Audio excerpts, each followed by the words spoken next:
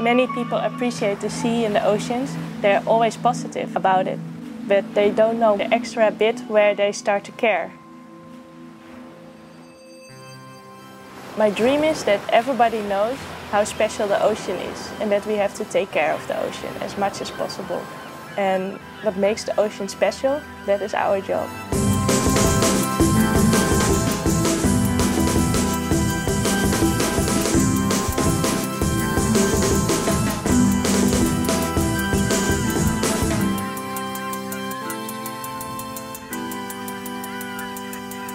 At the moment I'm studying the effects of an invasive species, the Pacific oyster, in the Wadden Sea.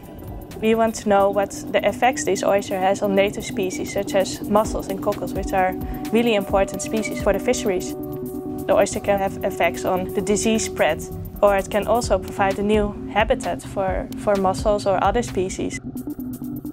Everything is connected with each other and that's what I find so fascinating about ecology because the system changes but it doesn't necessarily mean that it is a bad thing. I really like the freedom here. I like the family feeling almost what you get here. You feel really comfortable to talk to everybody and ask advice to everybody and then everybody will always help. I supervise some students, I meet with the students and you can also exchange some facts about new symposia you can go to or dissect some mussels or feed or clean the mussels and I have to build my parasite farm what I have. Nobody really tells me what to do, I can do whatever I want. But if you want to work here then you have to appreciate this. Every day is different and that's really nice for me. I need this change of things.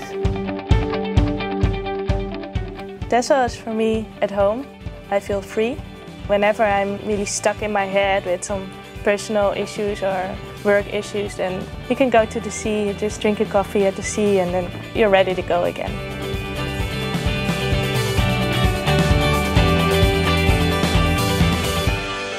There's a lot to do. You just have to set your mind on it and be open for a new experience.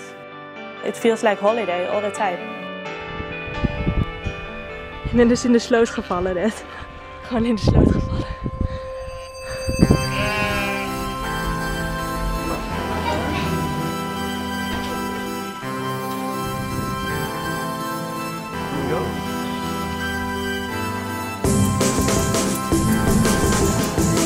I would like to welcome you on board with destinations in Petersburg.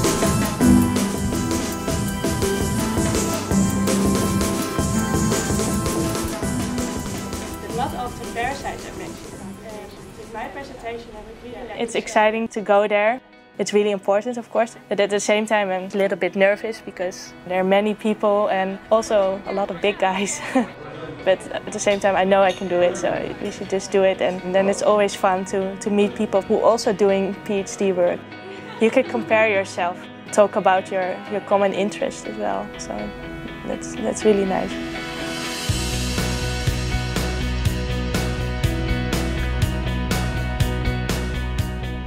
I would like to do research as, as long as possible because you know more and more and more and you get closer and closer and closer to understand the system. And that's the ultimate goal, I think, to, to understand nature.